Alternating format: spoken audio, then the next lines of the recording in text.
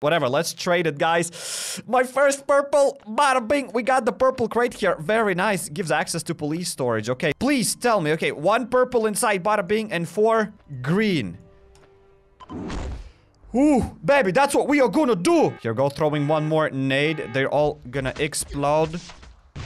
Beautiful. Hey, yo, guys, me, Cairek. Welcome back to another video of Last Dinner Survival. So right now, we will go to the police department and I will be doing purple crate opening because I have almost enough blue badges to open up a purple crate. So we're gonna do 20 waves with my Milkor and I'll be able to gather enough blue crates and we will do that purple crate opening. Okay, so I just realized that I still have 20 grenades from the task that I did at that sector 7. So I think we are gonna leave the Milkor. So we're at the police department and hello, hello, Raider. Like always, we are saying hello to that guy and also some of you might be wondering, why am I gonna be doing that purple crate opening? Because in many, many occasions, I told you guys that opening up purple crate isn't worth it. And even right now, I still believe that opening them isn't that worth it. But then, I was thinking that I do get a lot of green crates. And if I won't exchange my green for blue, and then blue for purple, everything should be maybe fine. Because I, after doing like 50 or whatever waves, you're gonna get so many green crates that you'll be opening them up for a month. Like, I got so many green crates that even till this day, I am still opening up those green crates. So that means that maybe, maybe opening up purple crates isn't that bad. I still think that purple crates needs a buff and that system where you exchange and get that random purple mod and then if you already have it, just throw it away. It totally makes. It totally makes no sense. It's super annoying. I hate that system. I wish that when we get a purple mod, we could actually exchange it for something better. Like that's the only wish that I have. Other than that, I think that everything is maybe 50-50 fine. Maybe a bit buffed loot. And some of you might be saying right now, Cairek, are you drunk? Well, I don't really think so.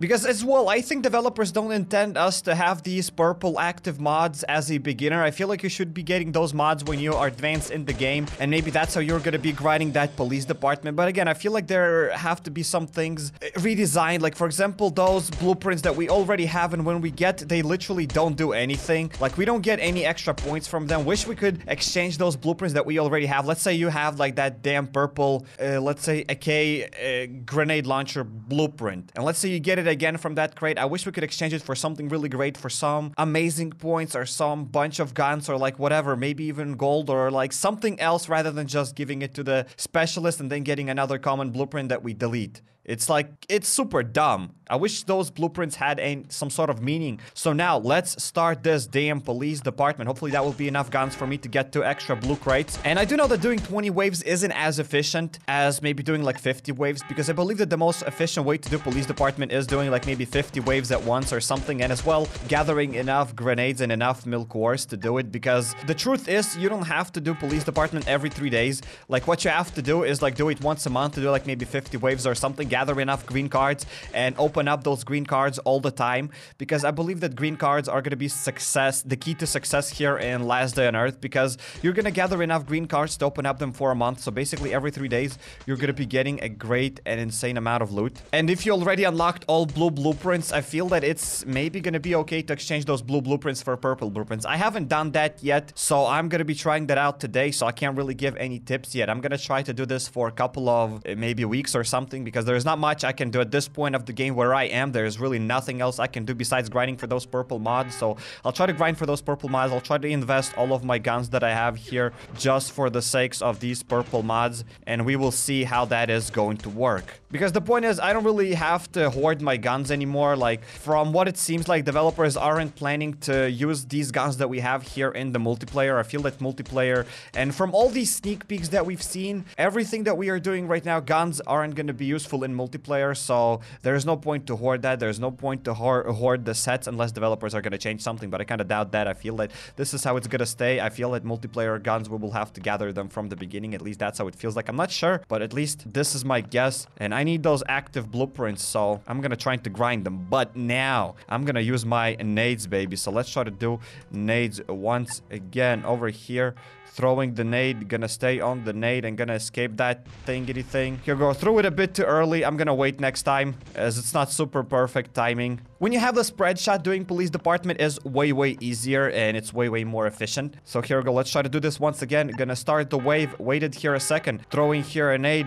Gonna stay on top of it and then escape it. Escape too early. Failed like totally, guys. Don't do like I just did. What is annoying that sometimes zombies come very fast and sometimes they don't come at all. So I don't understand what's up with that. Okay, let's try to do that once again. Maybe I don't have to wait it for so long. Throw that damn nade. Here goes staying, staying, staying, and getting out of there. But here we go. That worked perfectly. That worked wonders. And now with the spread shot, and they're almost all dead besides that one damn officer. Here go. He's dead now as well. Like always, I pick up those crates at the very end. Like some people say that you should get the Bloodhound, but I'm not really sure if Bloodhound works or no because I've gotten five blue crates out of 20 waves without the Bloodhound. So I believe that Bloodhound is just a myth. I don't know. I didn't really test it. So we will see whatever. Let's start the ninth wave now. Here go. Throwing the nade. Gonna stay on the nade like a second a second now escaping that and it totally worked and except I got hit by the grenade as well so that's a bit sad. But again it's not a big deal even if you get hit by that grenade. Like it's not like it does something a lot of damage. Here we go shotgun active mod is reset. Let's start that. Let's throw here another nade. Gonna stay here on the nade and gonna escape it now and got damage here by myself. God damn it. I'm getting worse and worse at that. In the beginning I've done better than I do now Glocks are so great, like every time I'm talking about Glocks, I feel Glocks are the best weapons in the game because they are pretty common. And I would say that AKs are even better than Glocks, but uh, the AKs are pretty rare, so Glocks take the first spot. Glocks are 10 out of 10 and AK would be 9 out of 10 just because AK is so great. It's much better than Glock, especially modded one, but they are so rare, so that's why they get a 9 rating, at least for me. I don't know why you have to rate everything in this game. Whatever, let's start 11th wave, gonna throw the grenade, god dangus. Here go, let's wait, and let's escape that now. Here go, that worked perfectly. Okay, 11 waves already got to the 20 waves because the these raiders tasks, these new raiders tasks require me to do those 20 waves in order to raid, so let's just do this. Here go, throwing another nade. Gonna wait here a little bit, now escaping, and they all got damaged, and myself included. That's not cool. I have actually another idea. Instead of throwing that grenade strict away after you start the wave, because I'm still trying to find the best way for it. Some might say, well, Cairek, why are you doing this like you're dumb? You don't know how to throw grenades. The problem is that when you start the wave, zombies sometimes don't spawn at the same time. So I'll try to go closer, actually. Here go, escaping now. Here go, that worked properly. So I believe that the best way to throw grenades is going to be not throwing them at your feet close to that terminal. I accidentally just wasted a medkit. But walking actually a bit further. And this way, you will get some damage from these zombies because they're gonna start attacking you. But what you will be able to do is escape. So I think that the most efficient way isn't gonna be throwing the grenade strict at your feet, but actually running over here, throwing them like this. Now I'm gonna wait here a little bit, and now I'm escaping. And look at that, they got damaged, and I didn't get any damage. Because like I said, sometimes zombies come very close, and other pack of zombies, such as like those angry chompers and uh, brawlers, they come last, and this way you're gonna waste a grenade. So the best way to do it is walking a step further. And this way you're not gonna get any damage from the grenade. Look at that. Throwing the grenade, guys. Waited a bit of second. Here go. They're coming. Now escaping that. But super perfect. Seriously. Perfect 100%. And this is so easy. Like using the grenades here is insane. So maybe guys even getting those purple mods after you unlock that shotgun spread shot and you have some nades isn't that bad. But again, I don't want to over jinx that because I still haven't received anything. I believe if today we're going to get like some sort of a trashy blueprint, I'm going to be very mad. Like from 1 to 10, I'm going to like literally scream. I'm going to flip off if we're not going to get here anything. Like if I'm gonna get some sort of a purple like revolver drum mod or whatever. here we go, let's start the wave 17, throwing the grenade. Gonna stay on that nade, gonna escape it now, escape. Okay, perfect. So now after the introduction of grenades, it's way easier to do 99 waves because now you don't only have Milkors, but you also have these grenades. So you'll be able to gather like what? A couple of stacks of grenades, a couple of Milkors, and it will be easy peasy. And for those who do know, milk ores last for 16 waves because one Milkor has 16 shots. Wow, this is so great. I just love grenades. They are so perfect. Like, oh my goodness. Now spread shot on three zombies, bada bing. I don't even think that using spread shot there is like kind of that worth it because I know. But if you're gonna have here the spread shot and plus that AK mod, then you don't even have to use here any grenades. I believe that then it's gonna be even easier. But again, I haven't unlocked that AK uh, explosion mod. If I'm gonna get that AK explosion mod today, I'm gonna flip off like seriously. Here go throwing one more nade. They're all gonna explode.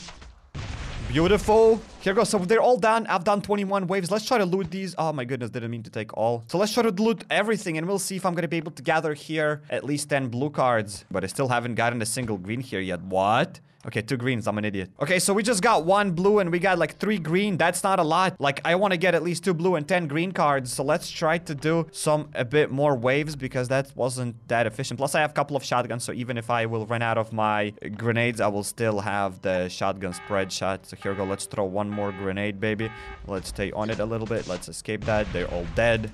Here we go, guys. We got another blue card. This is so cool. Most likely, we are gonna get out of here. Well, I will still do one more wave because I have one more grenade, so why not? Maybe I'll be lucky enough and I'll get one more blue card here once again, but I definitely doubt that.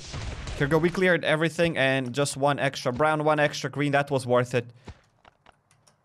And one extra blue, just like I said. Totally, guys, worth it. We got literally three blue cards out of 26 waves. That's amazing. this wave, I called it, guys. We're gonna get it. So now let's go. Let's open up that goddamn purple crate. That's why we all gathered here for, myself included. What are you doing, Riot Shielded Zombie? Get the hell out of my sight.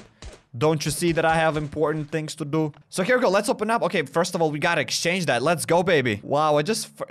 It looks pretty... Wait, did they change how it looks like? Because I've never actually seen those purple crates. I've never paid attention to them because I knew that I'm not gonna exchange them. But they look pretty damn cool, especially that badge on the right. Whatever, let's trade it, guys. My first purple. Bada bing. We got the purple crate here. Very nice. Gives access to police storage. Okay, so I'm gonna save all my blue cards. But like I said, we are gonna open up uh, green because greens are gonna be the success to level that out. So let's hope that I'm gonna get at least a great blueprint. Please tell me. Okay, one purple inside bada bing and four green. Ooh, baby, that's what we are gonna do. Like, please tell me that this is not gonna be trash. All I'm asking for, like, okay, we're gonna open that at the end just to get some more suspense. Here we go, a machete, katana, a skull crusher. Please tell me at least one gun. We got M16. That was worth it. Green crate was uh, worth it. Because rule of thumb again, out of five green crates, if we're gonna get at least one gun, it's worth it. Plus, we got one more carbon fiber. And all of these mods were already owned by me. So, guys, let's open up the green crate. Got the purple crate. So, what we go inside? Uh, for freaking freaking sakes, like a freaking uh -huh, and I already have it.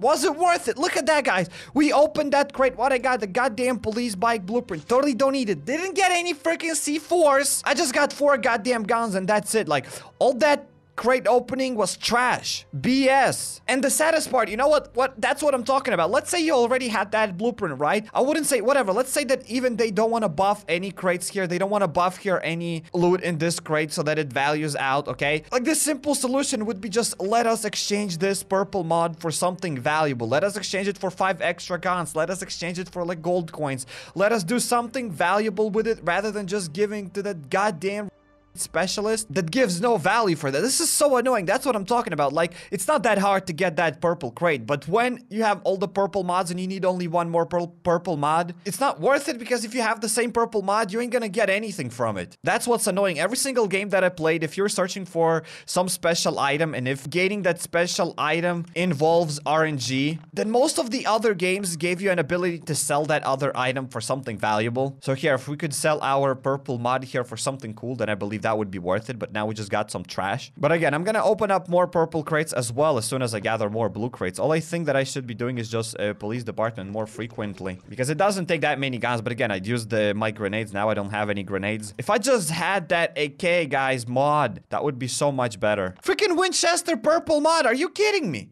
And as you can see, I do have bunch of green, these green crates and I also have bunch of brown crates. I'll need to exchange them for more green. So I have a 94 green crates, right? 94 those green badges. I could just exchange them for 9 blue and those uh, then I'll have 10 blue and I could exchange those 10 blue for 1 purple. But as you can see, I would lose so many weapons. Even though it will take me like probably months to open up those green crates, it's still worth it. I'm gonna wait for it because it's not like I'm gonna gather so many weapons again in like a day or something. I know, I think I've complained enough today, but that doesn't mean that I'll stop opening up purple crates. I'll exchange all of my blue badges for purple ones because that's the only only thing that I need right now. And I'm gonna keep my fingers crossed that maybe, maybe developers one day will decide to revamp how these purple crates work or revamp how those active mods work. And then my life is gonna be easier. Not only mine, but everybody else's life is gonna be easier as well. So if you're interested in supporting this channel, the best way to do it is by joining YouTube membership slash sponsorship. Just click that join button and you're gonna get all the information that you need. And also follow me on Twitter, Twitch, or Instagram at HappyCairek. All links are over here on the screen. I highly suggest you checking out my life after Let's Play. Just click here on the first card and you'll go shipped away there. Click on the second card and you'll watch a recommended video just for you. And I'm uploading such videos on YouTube every single day, so make sure to drop the subscribe button and notification bell to not miss any future videos.